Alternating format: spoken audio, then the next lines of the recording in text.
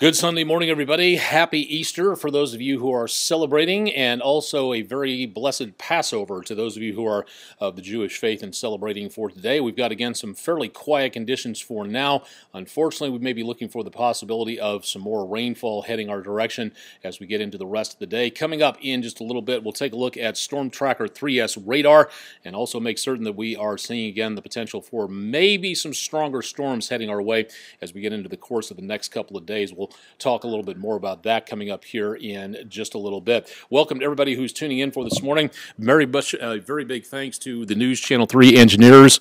Uh, making certain that our microphone was repaired for this. Nice to have it back again and working properly here, so I hope everybody can hear me uh, well enough for this morning. So nice to have the equipment back up and going on this, and uh, thanks a lot. The engineering staff does not get nearly enough praise for all the hard work that they do around here, so thank you guys very much for getting that taken care of. If you're in the Mid-South area, again, West Tennessee, North Mississippi, or back into around areas uh, close to uh, eastern Arkansas and in and around that location, please drop your location and your weather reports into the area. If you're from outside the Mid South, let us know where you're from. Again, around the country or around the world, we don't mind. And in just a little bit, we'll take a look at some of your weather pictures here and there. And we'll also take a look at see about what the possibility is for the maybe the potential of some stronger weather coming our direction as we go into what's left of the holiday weekend. So again, stronger weather possible with thunderstorms as this front moves on through, but we're just not looking at too much at least right now. More on that coming up in just a little bit. Here's what it looks like again for the next several hours, just a nutshell forecast for you coming up.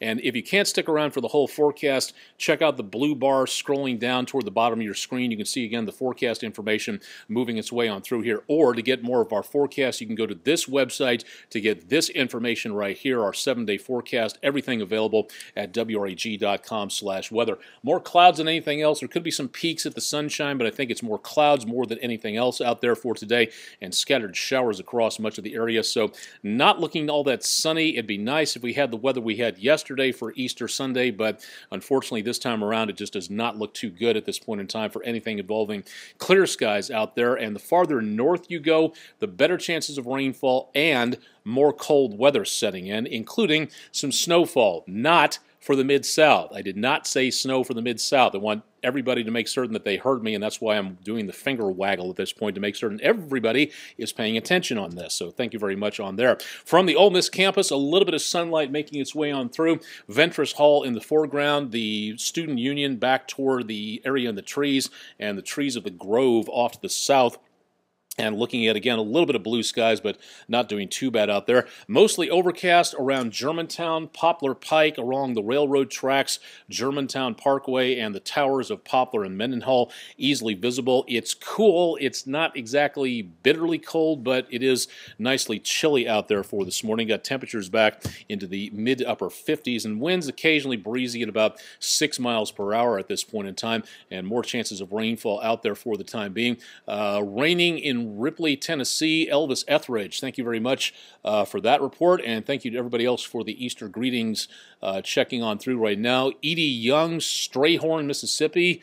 What do we got here? 55, overcast and light wind. Thank you very much uh, for that one. And cloudy Crystal Cackler in Lakeland. Thank you very much uh, for tuning in for this morning. Live view of I-40 and Whitten Road. So far, traffic is moving along pretty well. We don't have anything in the way of delays or any problems according to TDOT or any of the other DOTs around the Mid-South area. So that's good news for travelers. Likewise, most of the roadways are dry. But unfortunately, we still have more of those showers out there, and you can see some of that right now on Storm Tracker 3S. Moving through northern Shelby County, Tipton, Lauderdale counties picking up some more of the heavier showers, and some of that is going right over I-40 between Brownsville, Hillville, north of Fayette Corners, right along the I-40, I, the State Highway 76 area, everything moving to the east at about 25 miles per hour. We're not detecting anything at this point in the way of thunderstorms, but north of the area, up around north of I-40, we could see a rumble of thunder possible later on today. We're just not looking at all that much at this time. We're also seeing a little bit more in the way of rain redeveloping over central Arkansas, Little Rock, Pulaski County down to around Hot Springs. Showers developing and moving a little bit closer to us, and you can see some of that activity right into the mid south. St. Francis, Lee, and back toward Phillips County. More scattered showers taking place here, and we'll be looking for more of that activity as we go throughout the rest of the morning. Off and on, it's not going to be a deluge, but I would go ahead and unfortunately for Easter Sunday, it would be nice for sunny skies, but I would take the umbrella with you just to be on the safe side. Now, notice kind of a stretched out diagonal flow to all of this all these showers are forming along a cold front. It's not a monster system. It's not that strong. In fact, it's relatively weak. There's not that much to this thing. But over the next couple of days, it's going to kind of wobble back and forth across the area. And then eventually into tomorrow, it's going to get a lot warmer, which means we've got a warm front on the way. This, as of right now, is slowly dropping into the mid-south. It's going to turn kind of stationary, wobble back and forth, and then it's going to go back to the north as a warm front as all that warm air arrives. And that'll be in advance of our next storm system, which is way off to the west, but heading our way. And that's where we get the possibility for some stronger weather later on. Now, right in here, we could be looking at the potential again for some thunderstorms taking place I'd say from roughly Cape Girardeau, Poplar Bluff, down to just north of Little Rock and Conway, right along that front is going to be the best possibility where the atmosphere is going to be irritated enough to possibly stir up some thunderstorms. But south of that, so far, we're just not seeing much of anything else at this time. Now, if you're heading north, this is important because the cold air north of this front, if you take a look back to the north and west, it doesn't look like much right now. And let me get rid of the satellite information here for just a second. That's not satellite data, that's snow over portions of Nebraska, back around Kansas, back around my dad's hometown of Hiawatha, up that direction, probably getting some snow flurries right up there, and right on into northern Missouri and southern Iowa. There could be some accumulation with this. Again, not for the mid south, just want to make certain everybody's up to date on that. If you're heading between St. Louis and Kansas City, Columbia, Boonville, Jeff City, Kirksville, Quincy, Trenton, you may wind up with uh, some accumulation up there, and that could mean some slick conditions. Again, if you're traveling, this could be a bit of a problem up that direction. We're not seeing a lot of accumulation right now, but north of I 70, if you are heading this direction, again, well away from the mid south, well on down that way, we may see that possibility of some more snow showers coming on through and a lot more behind that. So that could be some travel problems well away from us. Not too bad right now. Again, temperatures back into the mid to upper 50s on live real-time WeatherNet 3.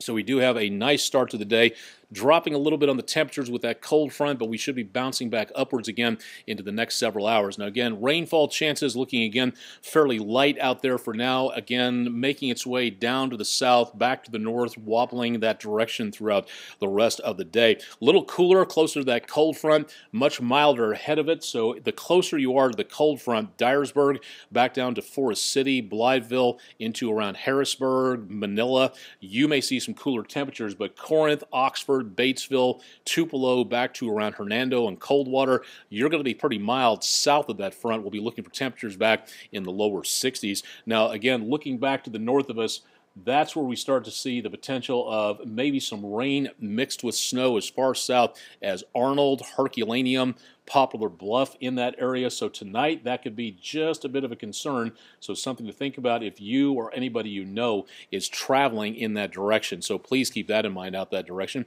Welcome to everybody who's tuning in and happy Easter to everybody who's checking in for today. Chances of rain will continue through midnight right on into tomorrow morning. And that means possibly some wet roadways right about the time we hit News Channel 3 daybreak. So stay tuned to the weather experts and we'll keep you updated on that. Now, today, Severe weather, not seeing it, but we are seeing possibility of some thunderstorms north of I-40. This forecast is several hours old. This should be updating in about the next 90 minutes, give or take, from, again, about 8.15 or so for this morning. So thunderstorms north of I-40, that should be about it. As we get into tomorrow, that warm front lifts northward, so the unstable air will be back to the north of the Mid-South, and just seeing, again, some thunderstorms possible, but that's really going to be about it at this point in time. Uh, Amy Autry, no April Fool about the weather. No, I don't do that. As I know a lot of weather people who did do that over the last several years, but I don't joke around where weather's concerned You can call me boring if you want to, but again, I think that's the best to kind of keep the jokes out of the weather department if at all possible. Just me. If anybody else wants to do it, that's up to you. Now, into Tuesday, not joking about this either. When you see a forecast like this showing up about three days ahead of time, this is something to pay attention to. Again, panic never helps anybody. I don't hype the weather. I let you know what the potential is going to be. I'm a professional. I don't hype anything, and this is what we are seeing for the potential of stronger storms coming up later on this week. Tuesday, a slight risk category. The yellow polygon indicates where the highest threat of severe weather is going to be, and that's going to be almost all of the Mid-South, including the metro area. So please keep that in mind for later on. What are we looking for? At least damaging winds, maybe the possibility some large hail. And at this time of the year, this is the worst of the worst for the seasons for severe weather between late January and about early May this is the time where we can get the worst storms here in the Mid South in this area of the country at this time of the year. So we could see, unfortunately, the possibility of isolated tornadoes. I know a lot of you don't like to hear that, but we need to be able to tell you that so you can get prepared for what may happen. Getting batteries in the weather radio,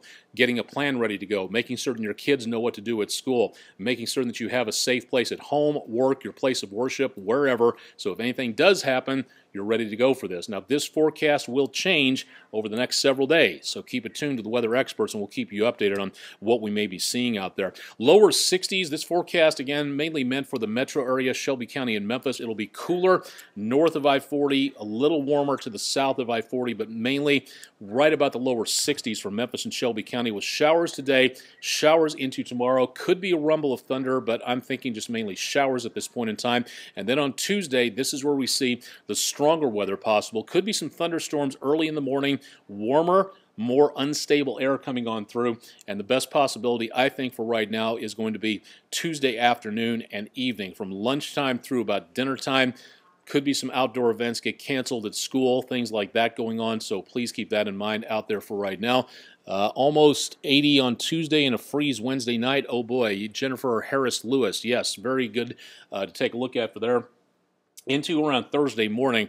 Uh, could be the possibility of another frost advisory issued from the Mid South area, and that is something that we are going to be watching again with a lot of interest as we go throughout the rest of the next couple of days. So, Thursday morning, definitely want to protect those plants if you've already got them in the ground out there, or bring them back in again if you possibly can. Rest of the next 10 days looks like this, and again, temperatures back in the upper 50s by about Saturday. So, we are seeing again the possibility of some more problems out there when we get into and around the area of about next weekend. Some more showers taking place here. The main threat at this point in time is going to be Tuesday. That's where we're going to be watching out for the possibility of, again, some severe weather. Up and down temperatures, again, we can go very wibbly wobbly at this time of the year where the temperatures are concerned. As we go through about, say, May, late April, early May, and all the way through about October, September, somewhere in there, that's where we get the stable very boring weather, in my opinion, but that's just me talking. So, again, we may see again more of those stable numbers coming up, again, 80s and 90s and stuff like that as we go through May and June and July and stuff of that nature. But this time of the year, we can wind up with some very up and down numbers as the warm air goes north, the cold air goes south, mixing all that together, and that's where we get those uh, thunderstorm potentials out there. So, that's what we're going to be watching here. This is more of an annoyance. This could be more threatening. So, again, right here is where we need to be keeping a very close eye on for right now. Thanks to everybody for some great weather pictures out there. James R. Gullidge, frequent contributor on our Facebook page and also on Twitter for some great uh, pictures yesterday. Some sunshine out around Humboldt, Tennessee, doing some lawn mowing out that direction yesterday. TN underscore WX, beautiful view from Carroll County Recreation Lake. Thank you very much for that one. The last twilight of March. Very beautiful view, some great colors out there in there for the area. And Memphis underscore Tom spending some time at I hope I'm saying this right, Murrells Inlet in South Carolina. Nice view of the palm trees out there on the coast and a beautiful way to start off Easter Sunday morning and a great view at this point in time from around the Mid-South. If you'd like to get your pictures on here, we'd love to feature them, but we can't show them if you don't send them. And we do a lot of repeats on here because of the fact that a lot of people send us some pictures and a lot of other people don't. So if you send some pictures in, we'd love to have them on here, but tweet them to me at aonek underscore WREG3, aonek no underscore necessary on Instagram, WREG3, and Austen Onek WREG on Facebook. Would love to have you along. Again, get your pictures out there so everybody can see them on Daybreak and also here on our netcast. So please go ahead and send them in if you do have that information. Now, coming up somewhere in about the next roughly 24 hours, Tiangong 1, the Chinese space station, is going to be what's called deorbiting. It's a fancy word for falling out of the sky, basically. This is a radar picture this is the animation of what you're taking a look at. The space station is tumbling.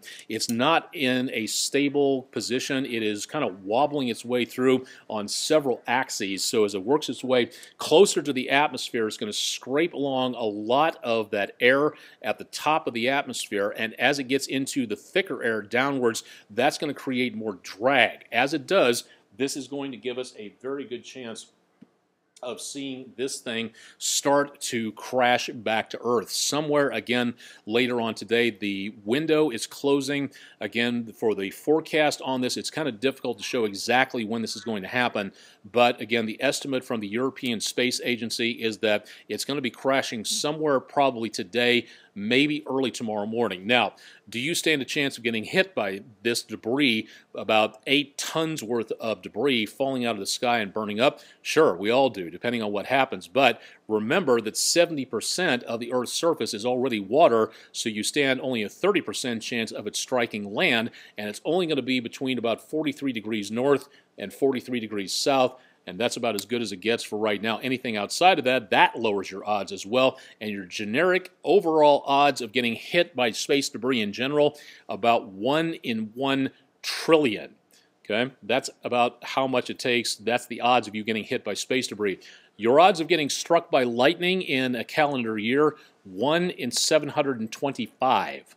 Okay, so that gives you kind of an idea as to what to worry about and not what to worry not and not what to worry about out there. So again, we'll be keeping our eyes on this as the station uh, crashes and burns later on tonight and into or tomorrow morning. And more information and updates at wreg.com/weather. You can also catch my forecast information on the East Arkansas Broadcast Network stations, uh, Country 92.5 and Oldies 102.3. We'll have another update on the forecast and also a little bit of more check on the severe weather potential coming up into the next couple of days tonight on News Channel 3 at 5 and also on News Channel 3 at 10. And of course, Todd Demers will be in bright and early on Monday morning for an update on News Channel 3 Daybreak. Got any questions? Please let me know. Uh, anything in the way of suggestions of what you'd like to see on here complaints if you absolutely must on there. You can email me at austen.onek at wreg.com and be glad to hear from you. Keep it tuned to News Channel 3 throughout the rest of the weekend for an update on what's going on with News Channel 3 weather, sports, and news. And we'll have more tonight on News Channel 3 at 5. Thanks for joining us.